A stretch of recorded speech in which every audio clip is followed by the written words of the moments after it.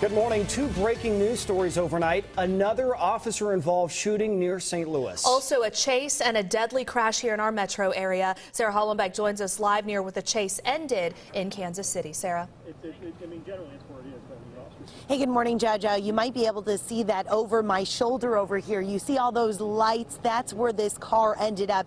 It's in a ditch and is flipped over. We're told that a man inside that car is dead and a woman that he was with is now in the hospital. That man who died in his 20s, the woman in the hospital in her 30s. Now, we're told that right now there is an investigator in the hospital trying to talk to that woman. However, she was getting some surgery as well as some medical care, so we're not sure if she's been able to speak with police. Now, it all started with police trying to pull over a vehicle with those two inside in Independence near 40th and Pittman. The car would not stop, so Independence police chased that car for just a few short blocks before it lost control and Now, right now, those officers are in the hospital. They're trying to get more information from the woman there. We're also told that they are going to need a crane to pull the car out of the ditch. It's really deep in the ravine that you see on the side of the road behind us. So that's something that may take a little while for them to get that car out, and then investigators are going to look through it for any additional evidence that they can find. Reporting live here in Kansas City, I'm Sarah Hollenbeck for Action News.